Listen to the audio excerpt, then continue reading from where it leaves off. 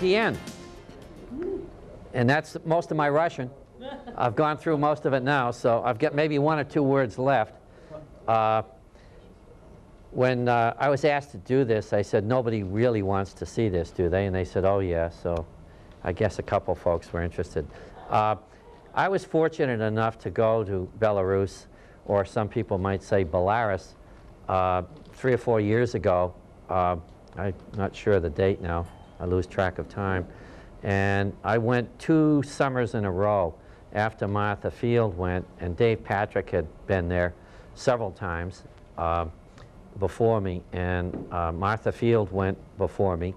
And then I went uh, with Kit Carpenter, and the following year I went with a gentleman from UMass who was 75 years old. He's an accounting teacher down in Dartmouth, UMass Dartmouth, uh, and that was an experience. Uh, very, very nice man.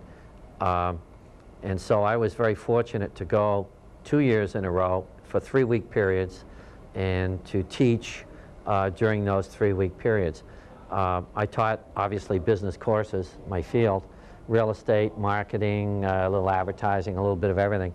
Uh, and they were very, very interested in learning anything to do with business uh, because the transition from capitalism uh, to or from communism to capitalism was a very difficult transition for them. They did it so quickly.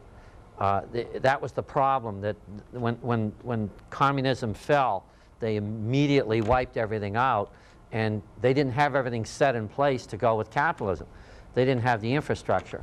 Uh, they didn't have any foundation to switch from communism to capitalism. It was kind of like just cutting out one thing and starting a new one, but not having everything in place to start the new one.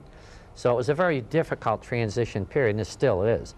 Uh, now, all of my remarks, you must realize that I haven't been there for four years or so, uh, and I'm sure that things are, I know things are changing, but uh, things do change, but they change rather slowly there. Uh, so it probably isn't a lot different now than it was when I was there.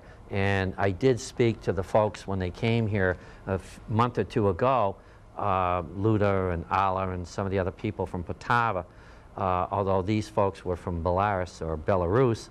Uh, and by the way, Belarus means uh, white Russian. Uh, we used to call it Belarus, but they call it Belarus, and that means white Russian. Uh, you've probably all seen Dr. Zhivago and know that there were the white Russians and all the other types. Um, but things probably haven't changed all that much since the time I was there. So they invited me to come over and uh, Kit and, and uh, then the other gentleman and myself and to teach for three weeks. Now obviously I don't speak Russian. Um, what, what, uh, what, what did they do? Well, first of all, a lot of them speak English. Uh, a lot of the teachers, a lot of the students. The students take English in school. It's one of the major languages. Uh, they take uh, German. They take English. and English is, is one of the strongest languages in the schools there now. So a lot of the younger people did speak English. Uh, a lot of the faculty spoke English, but not everybody. Uh, once you leave the university, uh, the college, and go out in the street, nobody speaks English. Uh, so that, you know, you really need an interpreter while you're there. And I had an interpreter all the time. Uh, and that was a difficult thing because I would say a few words, of course, and then stop, and the interpreter would, would uh, translate. And one of the problems I had initially was the interpreter was uh, from the language department or a, a, a language teacher. and she, she understood English very well. But she really didn't understand anything about business. And it was very difficult for her to interpret business terminology into Russian. Uh, I say Russian because that's mostly what people speak. Obviously, there's another language there, Belarusian, uh, that, that is their original language, but they were not allowed to speak that for many years uh, when the communists were in, in, power. But there are, there are two languages there that uh, people speak as well as English. And they, at the time I was there, and Kit and I were there, there were two currencies. They had uh, rubles in Russian, and they had rubles in Belarusian. So it was quite confusing because they had different sizes and different denominations, and they had different values. And of course, rubles aren't worth a heck of a lot anyway. Uh, nobody wants them. Even in the Moscow airport, nobody will take rubles. They want dollars. Rubles are worthless. Uh, and part of the reason they're worthless is uh, they're not hard currency in the in international market. Plus, they had such tremendous inflation uh, while we were there. I'm sure they still do, but it's, they assured me when they were here it's somewhat under control. But the inflation rate was horrendous. And so the rubles today are worth less tomorrow. As a result of that, they want dollars, and they'll do anything to get dollars because they can put dollars aside and they don't depreciate. But if they have rubles and they're trying to save up for something, the rubles are depreciating faster than they can accumulate them. So because of the high rate of inflation, they had a very tough time. Uh, financially, the country was, was uh, in tough shape uh, when we were there. Uh, there's not a lot of money. When you want to go anywhere, they can't get petrol for the van or the car because there's no fuel around and they have to scrounge around to see if they can get fuel to take you somewhere. And there were times when we were going places when it was either canceled or, or, or delayed because they couldn't get enough fuel to run the van that they were taking us in to, to bring us somewhere. Okay? I'm going to run through uh, some slides with you. Uh, and most of these, in the beginning, they're Martha Field slides. And then I added some of mine at the end. It's not a full tray. I, I don't want to bore you with slides.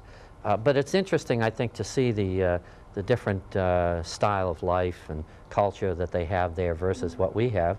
And uh, I'd like to make this as informal as we can. I'm not used to standing behind a podium. I like to walk around and rove, but Gary won't let me because of the camera. Uh, so I'd like to make it as informal as, as possible, and if you have questions, you don't have to raise your hand, just yell them out and, and as we go through the slides. If there's one you want me to go back to or ask a question about it, please feel free to just speak out and, and do that. I'm very uncomfortable in a formal situation. I like to keep it informal. Okay? So if we could, if we could start with the first one.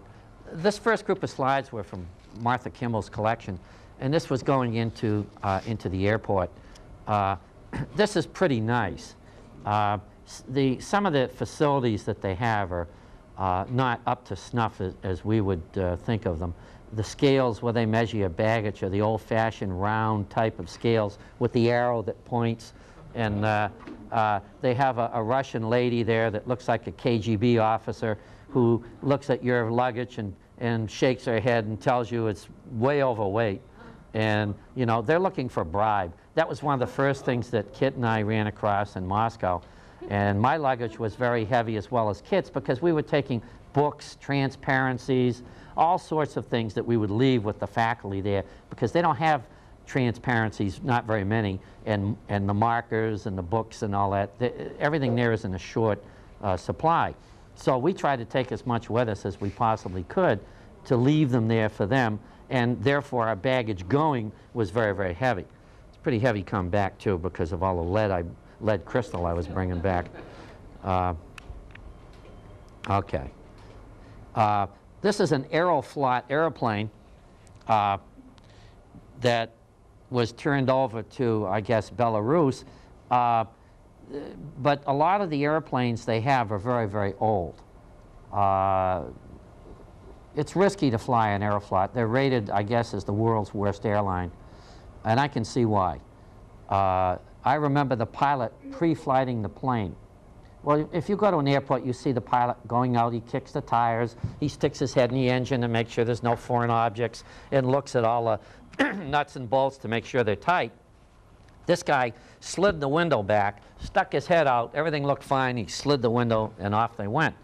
Uh, when you get on board, they have used paper cups that they recycle, all different colors, plastic cups, and they come around and sell a couple cans of beer that they may come up with, and people are sitting in the aisles, and it's like you might see the chickens in the aisles kind of thing uh, in their airplane. The, the, the, seats aren't really tied down everywhere. You go in the men's room or late, it's co-ed, I guess. Uh, there, there isn't any toilet paper or anything like that. In fact, all over Russia, there's no toilet paper. People steal it. So if you go into a fancy restaurant, you bring your own. That's the way it works. It's just non-existent. Uh, this was a shot. I never flew over Poland, but Martha did, and this was a shot over Poland. I won't and some more airplanes. Again, their, their, their fleet is not very well serviced. Um, and it's, it's uh, just not very safe. Uh, we did fly on it, but I wouldn't, I wouldn't recommend anybody. what they do is when you land in Minsk, which is the capital of Belarus, Gomel, the Cooperative Institute, sends a van all the way to Minsk to pick you up. And this is one of the vans that they sent.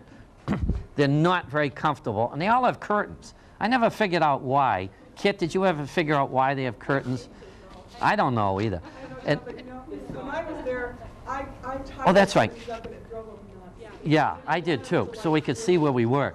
I don't know why they have curtains. Gretchen Watson was there too. Uh, she was the most recent person to go. Martha said this one was all Playboy uh, cutout things, and, and uh, I, I didn't see that, but I'm not surprised. And what they do is on the way to from Minsk, the capital where, where you generally land, although you can land in Belarus, in Gomel, Belarus, and Minsk, Belarus is the capital. Uh, but they when they pick up the van, it's an awful long ride. The roads aren't very good. The vans are very poor. You're sick from the fumes because the diesel comes up through the floorboards. uh, and it's a long ride, so they always bring food. So they'll stop along the road somewhere. Uh, the first time I think when Kit and I went, they took us in the woods, and the mosquitoes were this big. Uh, but they, they, yeah, huge. They stop along the road and, and they get out. Now they have a great spread of food. They'll have chicken and kielbasa and sausage, and of course the ever-present vodka. And, and, and they'll put, lay a, a cloth on the ground, and you have a picnic because there are no McDonald's, there are no restaurants, there's nowhere to stop, there's no gas stations, and if you need to go in the woods, you go in the woods. And they also have a picnic at the same time. So th this is part of their, uh, the way they do it. Uh, and, and it takes quite a while to get where you're going, but again, they always stop and give you a picnic along the way. What month was this? I don't know because this was it was in the summer, but th th these were Martha's uh, slides, and I'm not sure when we went. It was in what June, July, June. Okay, so it's in the summer, and, the- and the climate in in uh, this area is very similar to what we have, except they get less snow than we do. But the climate is similar. Um, this is one of the Russian Revolution signs that was still around. And, and uh, you can see over that building the former Soviet Union uh, letters there. And I believe this was a store, as I remember. But again, this was Martha's slide. Now, I'm not too sure. This uh, is here. I I went through all the slides and just picked out ones I thought would be of interest. but this is of interest, I think, because to show you, all, see all those buildings, they're all new, but they never finished them. And when they build them, uh, they just throw the stuff in a field next door. They don't bother about taking it away. But they never really finish a project and they start another one eh, before they've finished the other one, and they never finish it. They never get around to, they, there's no landscaping. Uh, uh, sometimes they just, I don't know if it's lack of interest or lack of materials, but they stop building it uh, when it's pretty much inhabitable and move on to the next one. But there are buildings all over the place just like that for housing. That's all housing. And people get, I'll show you one of the apartment size, uh, but they're all very small apartments. And that's the way people live in the city. John, that scrap is just left there? Oh, yeah, they'll just leave that there. Nah, nah, that slide will be there forever. This is one under construction, and uh, they look pretty good, but the workmanship is pretty bad. And the elevators don't work, and the lights bulbs are missing in the hallways because people take them. Uh, there might be one telephone in the building if it works. I- it's just, it's just tough living conditions. Correct me if I say anything that you think is wrong, Kit or Gretchen. And this was a shot that Martha had there. Show, that was to show some houses. Uh, this is the way the kids play around the equipment. There are no playgrounds to speak of. There's some of the parks have, you know, I, I will say some of the parks do. But the, around the apartments where there's not a park, uh, they just go out. They don't have any toys. You very seldom see kids with toys. You don't see any toys. You might see occasionally a kid with a bicycle. Some of them are fortunate enough to have bicycles, but you don't really see any toys. They play around these buildings and all this equipment and stuff. Remember when we went to the toy store? Oh, yeah. Nothing on the shelf. Nothing on the shelf. shelf. Yeah. You see tractors everywhere, and you can see the way people get around electric buses. That's the, the mode of transportation. Very few cars to speak of. Because you can't get fuel, for one thing. And the cars are interesting. They're all either Latkas, which are basically a Fiat, and are really a hunk of junk, or the other one is called, uh, they have a better car. Forgot what they call it. Anybody remember that? No. But people don't have cars anyway. This is a nice building, I think. It, it's uh, downtown Gomel. And downtown is, is, is nice. They have trees and nice streets, and some of the architecture is very interesting. And that's a very nice building uh, downtown. You'll see a lot of trees that are uh, linden trees, very common. We have, I have my, my yard at home a couple of linden trees. Our tree warden's planting a, a lot of lindens because they're healthy, resistant. Maples one year had a lot of disease, and of course elms have disease and other things. But uh, lindens are very resistant to disease. They have a lot of linden trees, as well as white birch, and a lot of forest. There's a lot of wood there. This is uh, Martha Kimball, and uh, she's standing in front of Mr. Lenin. Surprisingly enough, when the Iron Curtain fell, they did not tear down Lenin's statues. Uh, they still have all of those statues, and they still respect them, even though they've turned toward capitalism. Uh, the graveyards are interesting.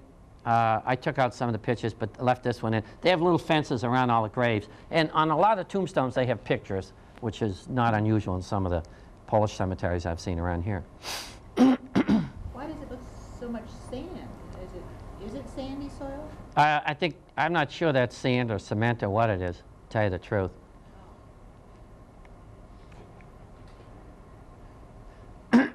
These are just some of the buildings. As you go along the Main Street, you can see the no cars, bus there.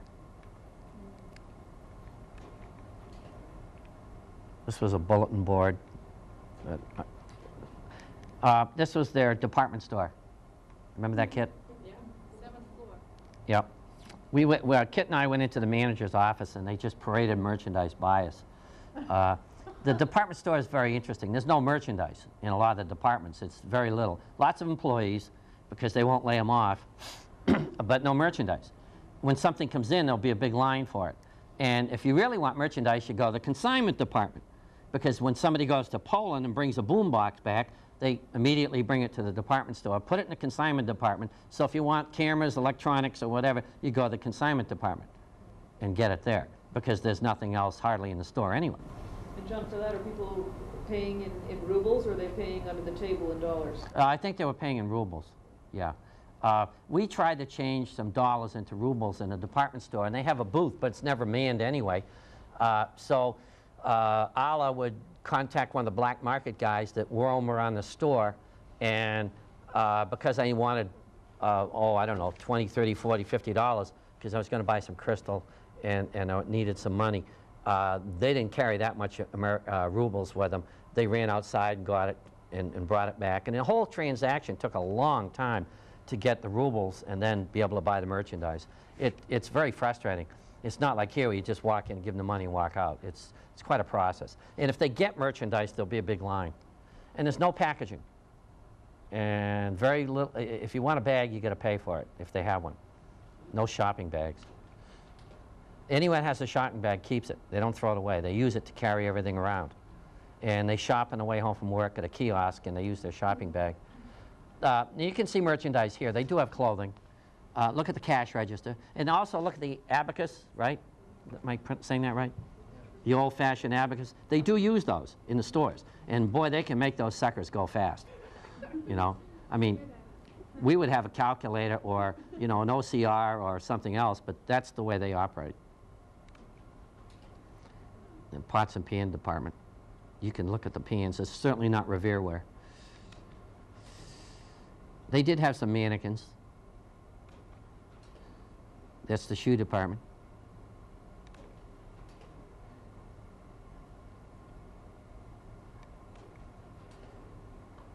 And there's a line. And that's typical. Anytime there's merchandise, there'll be a line.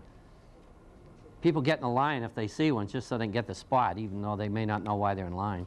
John, could could you put back for one? Sure will. I find it fascinating, if, if you look from, from our um, an admittedly Anglo perspective, that's Yeah. very, very close body space, and that's the kind of thing that freaks most of us out. Oh, yeah. Close to their- Yeah. Is that, is that in- indeed true? Oh, yeah, The- the- yeah, the- the absolutely. zone is entirely different? A pickpocket's delight, Ah, yes.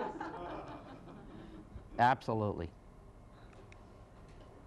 This is the uh, underwear department. You can see the shelves don't really have very much on them for merchandise, and that's what they have right there. Toys, toy department. Not many toys. Uh, can't remember this was a bakery or a supermarket. One or the other. That's, that would be their idea of a supermarket.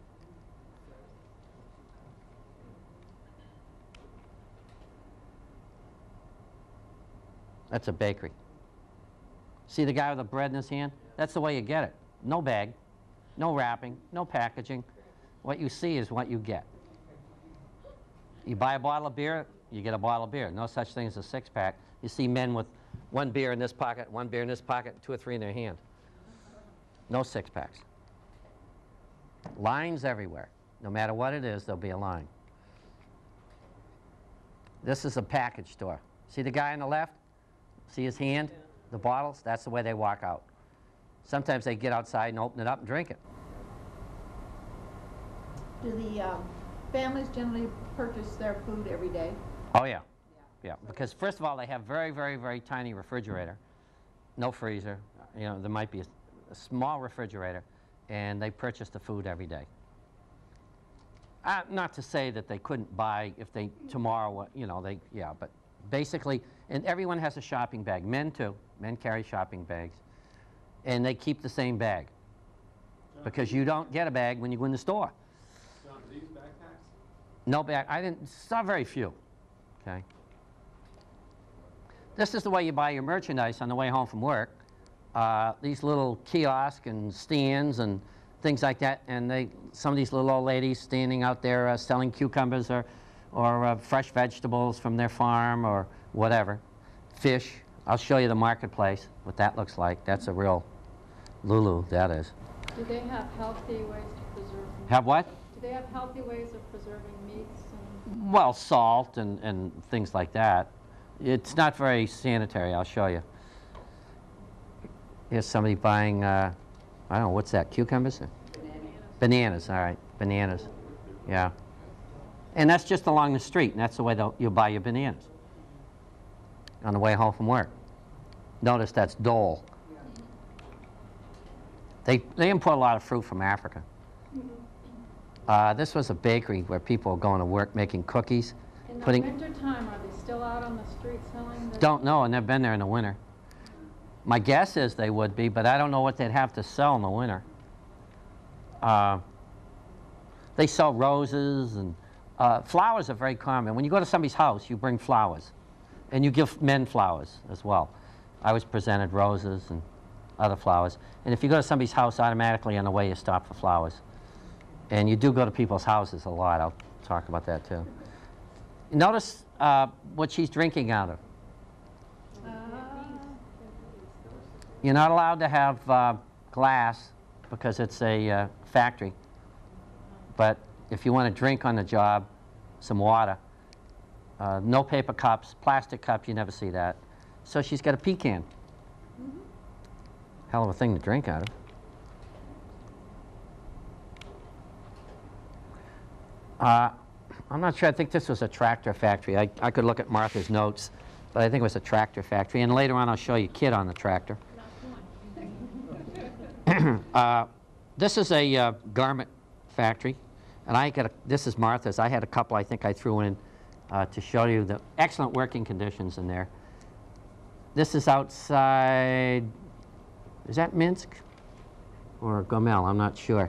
Outside the university.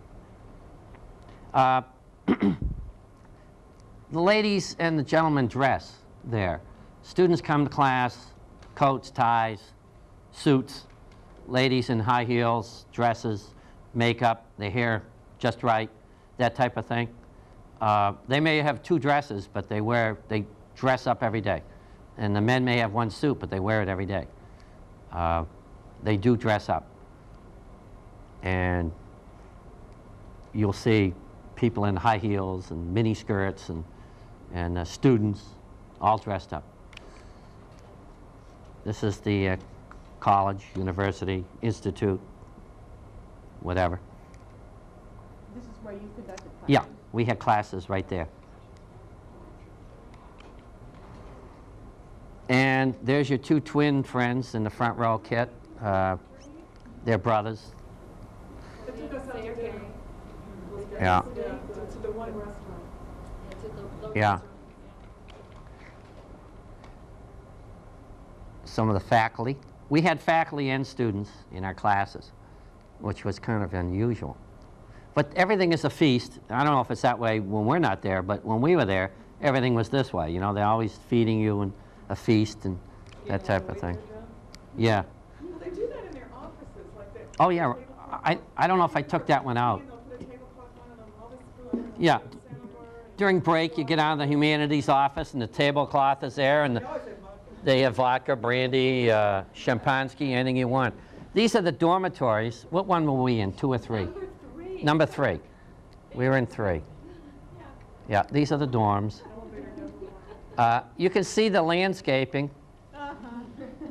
That's the way it stays. And they don't have a cow out there to just keep. No, but you, I'll have a picture somewhere of a guy with, what, what do you call it, a sigh?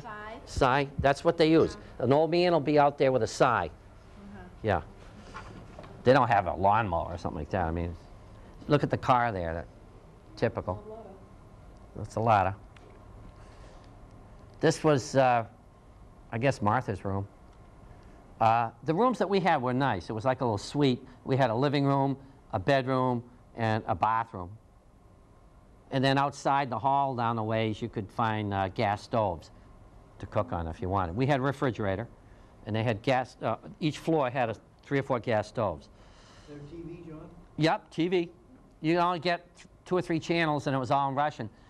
The, every night at 6 o'clock, they had the BBC News, but they had a Russian interpreter interpreting the English and the Russian, and he spoke so loud that I couldn't hear the English. So anything I watched was in Russian. Of course, I don't understand Russian. I was interested in their commercials, but I couldn't understand them. It's the bedroom. And they sent the maid in every day and did our rooms. It was, it was very comfortable, clean, comfortable, uh, very nice. Air conditioning? No, uh, you open a window. And I complained about that because I don't like mosquitoes. And so they made screens for my room. And the next day, when I came back to my room, there were screens in the windows. They were made. I woke up and was like, covered in fire. Yeah, well, you really, you need to open your window because when we were there, obviously you need it, it, it gets warm. And uh, when I complained, I, not seriously, but jokingly, the next day they, they made screens up, they made them up, and they put them in my window. It's just kind of nice because I didn't like waking up, like you said, you know, all mosquito bites. These, these are all around where we stayed, okay? You can see the grounds are not, they never finish. And These, this is all a complex of the college. When were these buildings put- built? I Oh, I don't know, probably 20 years ago, maybe less. And this is all the consumers cooperative? Yes, it's all part of the consumer cooperative. These aren't very old, but they're, they're deteriorating because the Oh. materials are rough. They start deteriorating before they finish building them. It, it just, they're just falling apart. Very poor workmanship. Well, it's the materials too. Materials, everything. Yeah, yeah. And you got to realize these were built under the communist regime. People did not have motivation to work well. Okay, that's part of why communism failed. I think motivation was lacking. These are dachas. A dacha, if you've ever heard the term, is a cottage or a summer place or whatever. And the people at the university made them own dachas. Uh, if you're sort of middle class, you try to save up and get a dacha, or they're in the family or whatever. And they were allowed, when we were there, they were allowed to own these. Do they own the land too? And now they can't. Yeah, they, uh, under the communists, they couldn't. And in the dachas, they all have lovely gardens, very, very nice gardens. They grow very, very good vegetables. Strawberries, unbelievable. Uh, great strawberries. Uh, cucumbers, tomatoes, everything. And uh, they all have a garden. Everybody has a garden with a dacha. And they're kind of shanties or shacks, or, but they're comfortable. Some of them have a sauna they built outside, fireplace. They all have a pump for water. I don't know what kind of septic systems they have. Never asked. Didn't want to know. There's one of them. Is that Dave in the red? That could be Dave Patrick on the right, Yeah, that's like him. Most likely. Look at that chin. But these are cute little places. They're, they're camps, they're cottages. And actually, they're not that far away from the city. Some people ride their bicycle to get there. Once you leave the city, it's like there's no suburbs. Once you leave the city, it's, it goes from being city to country. I mean, it's immediately end of city, start of country. There's nothing in between. And once you get out in the country, then you start to see the dachas. Inside of one, fireplace, you could even sleep on that. And there's our Martha Kimball. They all have pumps, water out of the ground. Now, you might want to drink the water, and then again, you might not. I drank it without any problem. But of course, one of the things in this area is high radioactivity because of Chernobyl. Place you could get whole, clear water that wasn't salty. In the Yeah. city they drank Bottled water. Bottled water. Terrible. Salty, yeah. Just a shot of the field. Geiger counters. Okay, why? Chernobyl. What, 75 miles as the crow flies, I believe? Kit, does that sound right? may have been close. May, or, may have been closer. Uh, clouds fell on Gomel. Uh, the radioactive clouds uh, fell in certain areas and not in others. And this happened to be in Gomel, one of the areas where the radioactivity is quite high. As a result, uh, Geiger counters are not uncommon. When they took us to the farm, the cooperative farm, uh, we were out in the Jeep in the woods, and the Geiger counter went off the, right off the chart. They had to flip it over to another scale because it went right off. Such high radioactivity. And uh, I went on an army base there, and the soldiers come in and work half a day and have to go home back to the city. They're so tired from the radioactivity. This is in a factory, and these are. Where are you gonna go? Build another camp. You're gonna. Well, it, they did that at Chernobyl. They they moved some of those people around Gomel, and they created new villages where they moved the people out of. Uh, but you got to realize, Ukraine's a separate country today. This that was under the Soviet Union. They could in Moscow just say, okay, move these people from here to here. Fine, they did it. But now Ukraine is one country, Belarus is another country. There's a border guard, and they don't necessarily get along that well sometimes. So you can't do that anymore. It's not that easy, And Belarus got left with the radioactivity. I mean, even though it started in Ukraine. it's horrible. Slow to go And and this, yeah, this is a factory, and, and in the factory, what this shows you is what section of the factory has what level of radioactivity. the Japanese, uh, after Chernobyl, sent scientists and doctors to uh, that area and helped the people. And the Japanese uh, sent this vehicle, and I don't know what it says on there, all of it, I can't read it, but it says from the people of Japan to the people of Belarus. What's interesting is that it's in English. Yeah. Yeah. Uh, the cooperative farm uh, was an interesting visit, and, and they didn't want to let, I think it was Kit and I, I can't remember because I had two visits, but they didn't want to let us in and see the pigs. And I said, why? They said, because you might contaminate our pigs. And we get in to see them, but they didn't want to let us in at first. And I guess in looking into that, that's true, that humans can give pigs diseases. They have animals that they raise for uh, fur, because they wouldn't do it in this country too much, I suppose, but there they do. This was on the uh, cooperative farm. They have uh, an area which is a, I guess like a civic center, call it. I think that's where we ate, if I'm not mistaken. The of the door. These are the people in their Belarusian uh, costume. They don't look like that, obviously. That's just for a feast day or whatever. But that's their traditional uh, costume in Belarus.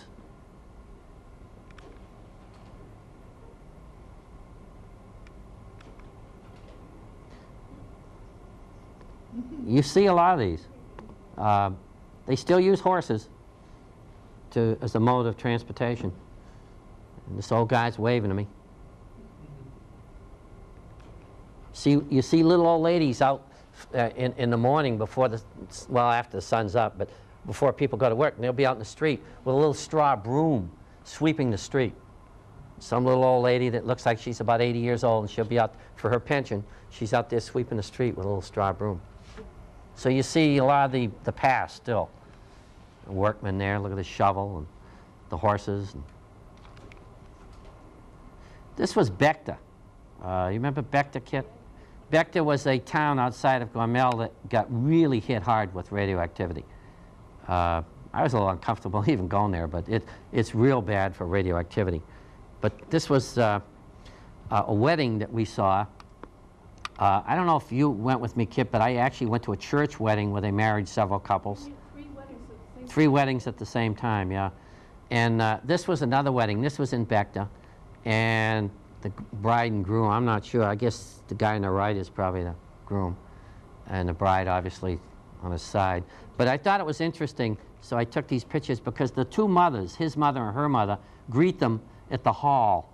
Uh, it's their tradition. The mothers meet them there, and they go up and take these things from the mothers. Chris, uh, Kit knows what those are. Is the salt on the bread as a blessing for the wedding? Okay. What do you call that stole, Kit? Okay, ruchnik. Yeah, thank you. Yeah, and those are the two moms. And they go up and meet him. And then, this is the limousine. I mean, that's some limousine, right? And notice the rings, that's their tradition. They put those, see those two rings on the hood up near the windshield? That means they just get married, I guess. Isn't that a beautiful car? Real limo. They're probably lucky to have that, by the way. Very lucky to, to have a ride in this. This tree, you remember that tree, Kit? This was out in the garden uh, behind their little museum where they have all the icons that I'll show you. Uh, this tree was a tree that got hit really hard by the radioactivity and died. And they left it there as a symbol of that. Inside the museum, and I have a couple of books here on icons. Uh, these are national treasures, icons. They won't let them out of the country. Uh, when Kit and I went in this museum, they don't allow any picture taking. And I convinced the, well, I convinced the guy, you know, that, you know, he should let me take a picture, so he did. And I took a, the, the most gorgeous, I don't know anything about icons, but they were the most gorgeous icons that I've certainly ever seen or hope to see. And the whole museum is just chock full of these things. They're a national treasure. And of course, they won't allow them to leave the country. Uh, that's the biggest thing they're worried about is losing their icons. It's all gold leaf and. and- and Oh, absolutely. And they, they, they, they told us how they made these and the different eras in history, how they changed and the symbolic meanings and everything. And they gave us a real education, because I don't remember half it now, but it was, it was a tremendous education on icons. I didn't realize there was so much history to them, and they're absolutely beautiful. And the whole museum was just full of these. That's why we went to Bekta, to see this. Again, it's highly radioactive, so we don't want to stay there forever. Okay, uh, you go into the, uh, if you want to go shopping for a roast beef or a pound of steak or some hamburger, well, you go to the marketplace. And the marketplace is this like huge Quonset building, uh, and you go inside and they have all the vendors. Now that's the meat right there in front of the lady with the scale. She's selling meat. And there's the meat. Now I saw one of those fall on the floor and I watched the guy pick it up and put it back on the counter. So when you ask about sanitary conditions, there are flies around and, and uh, they just cut off a chunk and wrap it in newspaper and off you go. It's a pig's head, yes. Absolutely. You cook that whole. Oh, sure. Whole. Yeah. That's probably a delicacy. I don't know. You wouldn't, wouldn't get me to eat it, but. Yeah, and see the people lined up to get it? Absolutely. The scales don't look very accurate either, and I'm sure they don't worry about the state coming around inspecting them. This again is the marketplace, but uh, you just walk up and buy a fish. Stiff as a board, but one of those was given to me as a gift. I immediately passed it on to my friend Kit. Thank you so much. Gave you some. That's a That through customs. Yeah, that's, that's a prize right there. This is Luda, who came here many, many times, and she's negotiating with these ladies. I'm not sure what, some type of mohair, is it, or? Did you buy one? Yeah. There's Kit on the left. You get good at haggling, Kit? Oh, yeah. Gotta do that. And they, these ladies were from, not Belarusian, they were from a different part of the forms. Maybe Azerbaijan. Yes, I think you're right. You want to buy a rooster? Live on the hoof, there it is. You got to cut the head off yourself if you want to, or put him in the chicken yard or whatever, but he's out there selling this rooster. He's pretty. Kind of pretty rooster, isn't it? Imagine buying that and just going home with that under your arm.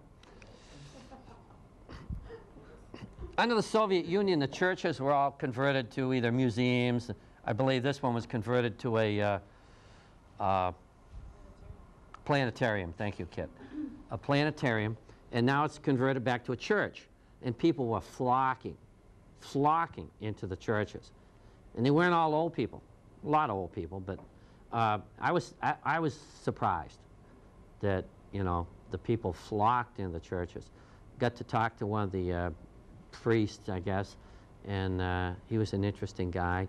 And he let us take pictures, in fact, which they don't normally allow. And you can be sure that older people are looking at us like, what are you doing here, you know, taking pictures and all that.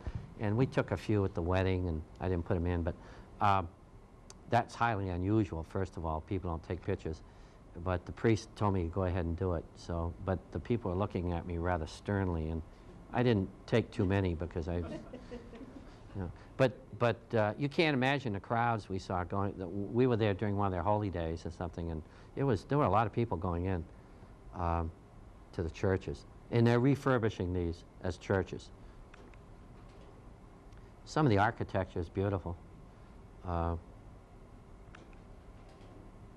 beautiful tree. I thought this tree was so gorgeous that I had to take a picture of it. Isn't that a nice looking tree? I'm not sure what kind of tree it is, but that's Luda's sister Tanya. She is a physicist and worked in the college as an, like an assistant secretary or something. Had a degree in physics, I believe. And this is one of the parks. The parks are very lovely. That's what people do. They walk in the park. That's their entertainment. There's no golf course, you know. this is the square. And I believe, correct me if I'm wrong, Kit, that's the Opera House? Is that the Opera House? The Music Theater, Symphony Hall, or whatever you would call it.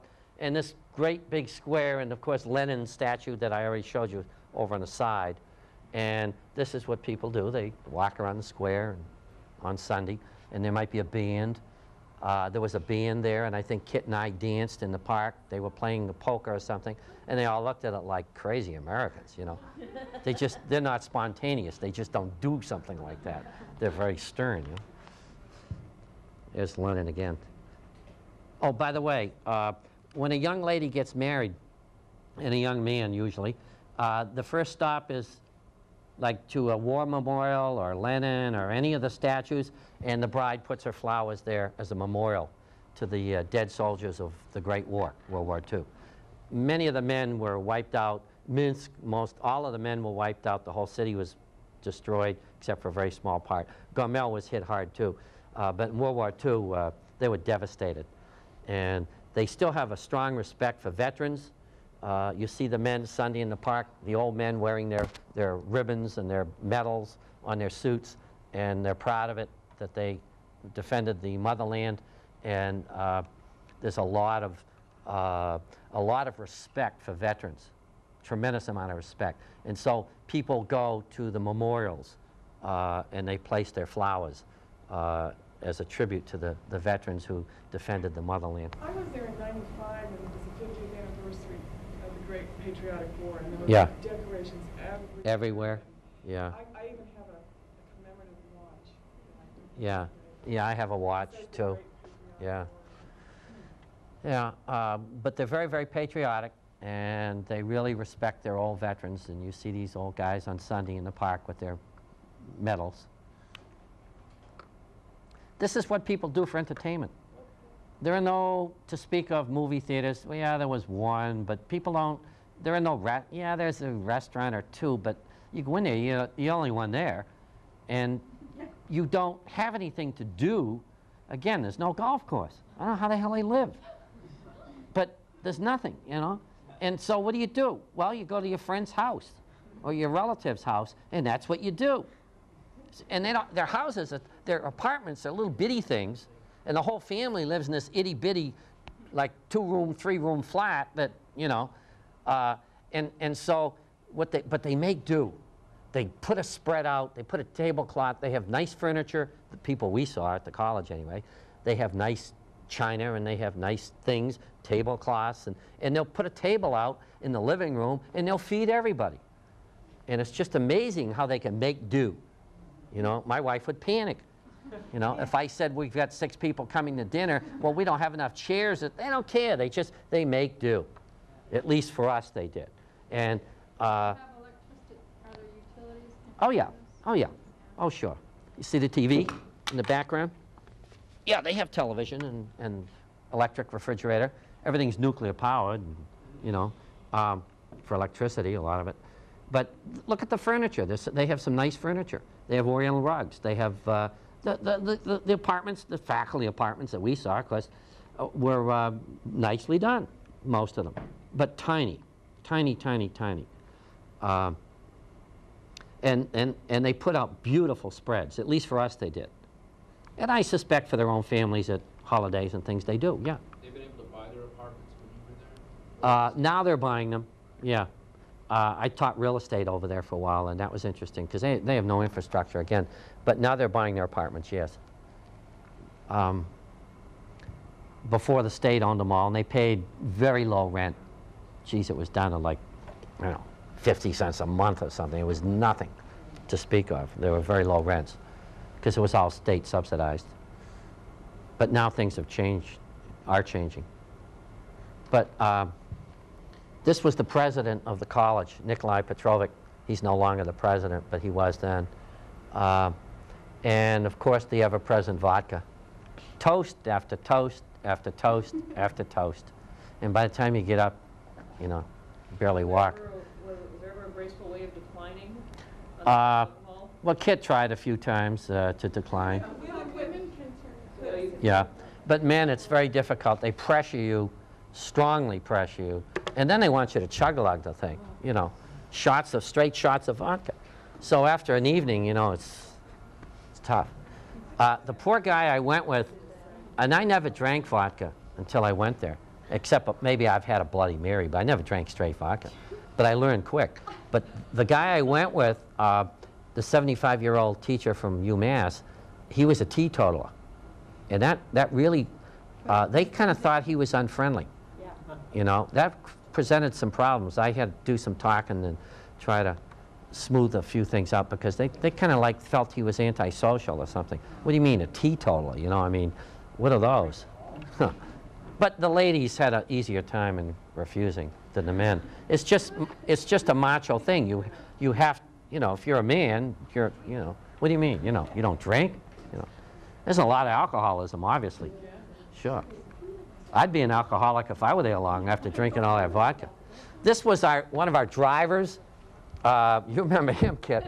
Uh, and they had the same type of apartment that Kit and I had. Uh, Kit had when I had one. But it was like two rooms that we showed you the, the living room and the kitchen and the bathroom. That was it. Well, he had two kids and a wife, same size apartment. And they were lucky to have it. Really lucky. Okay? But it was tiny. And of course, they have to What go if you weren't lucky, where would he be living? In the street. I don't know. Way to You go. live with your mother. You Yeah, with your maybe mother, yeah, I suppose. Although I got to say, I didn't see any street people like we have, so I don't know. Again, the little kid in his apartment. But again, they were happy to have it. Uh, This was a factory I went in, and I thought it was excellent in terms of working conditions and cleanliness. Lighting was excellent. Uh, Maybe, maybe a little older than some of our factories, but on the other hand, I thought it was very well laid out. Uh, All of the ladies that worked in here, and they were all ladies, were very pleasant. When we came through, they're all waving to us and happy, and, it- you know, it wasn't put on. They were just, it was pleasant working conditions in, in this particular factory, yeah. This is the thing about the housing, I believe it was, uh, under the Soviet system, uh, enterprises provided housing as well as other public services Yeah. for all their workers, so since there's no unofficial employment, there would be no official homes either. Yeah, you're right. That's true. That's true. It's like if a woman went to the hospital to have a baby, how long did they get? A month? Oh, oh long, they have long maternity. Oh, yeah. They get long maternity leave, and, and they stayed in the hospital for like a week or two, a couple of weeks. Today, a woman goes in, and has the baby, and they send her home the next day. But there, no, they, you know. So they have a lot of things that, that we don't have, sure. But the standard of living is nowhere near ours. And this is, you know, sort of an archaic factory. But on the other hand, I felt that it was clean, well lit, well run, and uh, the employees all were, seemed very, very happy. Do you know how many hours a week? They work a standard week. You mean forty? Yeah, about that. How is the economy? Are these workers paid? Oh, yeah, they're paid. Oh, good. Well, now, we don't know. When Yeah. I was there two years after these guys, people were not getting anything. They weren't getting paid then? Yeah. Well, see, the, uh, uh, the problem is they can't sell the merchandise. That's, that's one of the problems. They, they make things, but there's no market. When I was there, people were getting paid, but. Uh, this, that was the garment factory, and this lady was putting a little fashion show on for us, showing us some of the garments. You can see the styles would be a little different, much more matronly, I guess, is probably the word. I don't know if that's correct. Uh, maybe. Not fashionable, maybe as much as other areas, but They make things, John, but they don't sell them, what do they do, give them away, or? Well, they sell their clothing. Yeah, people have to have clothing. But things like tractors and things, they can't sell them because of, uh, there's no one with any money to buy them, and they can't export them because the Germans don't want them, and a lot of the other Iron Curtain countries can't afford them. But so much for the EPA. You can see, they just trash. Yeah. This was, uh, Kit and I were invited to, uh, this man taught history. And in fact, he gave Kit and I a copy of this book, which had to cost him a lot of money. Uh, things aren't cheap. You know, they don't give it away. And based on the small amount of money faculty get, it's like 20, at that time, about 20 bucks a month for a faculty salary. I don't know what, what it is now. But he had us over to dinner and instructed Kit and I, gave us a two-hour history lesson on the history of Belarus. He had been very active in the Communist Party, and well, they had the Communist Party, and uh, he was a real political kind of guy. And he talked for what, two hours? And his poor wife's out in the kitchen trying to get dinner together, and finally uh, we ate. But uh, again, you notice they put a little table in the living room and set up nice, and they have a, um, a we toured one of their like like our trade schools, like the Franklin County Tech School, and uh, they took us in, and these are the the high school age students, and these are some of the things that they were making, mosaics and other things, uh, and the girls were producing these. Uh, it's like woodcraft, uh, like sort of inlaid or mosaic type woodcraft art. I don't know what else. What was it, Park, marquetry, parquetry? Yeah, I think that's what you'd call it, yeah, yeah. And then uh, this is some of the work that they did. And they had to present a masterpiece in order to graduate, of course, some of the work they did. And the girls uh, were doing, I guess it was like macrame or something? Yeah. And they also did linen work and everything. Uh, a lot of linden trees, and a lot of these trees were planted in memorial of the people that were killed during the war along the streets. Uh, this was a, a toy fact or tractor factory or whatever it was, but they made toys as well. And I was greatly impressed with this Uh, I would have liked to bought that and brought it home, and it was very inexpensive. I don't have a young kid to give it to, but I just would have liked to own that. That was great. It was all solid steel and not, it was really well made. Very, very well made.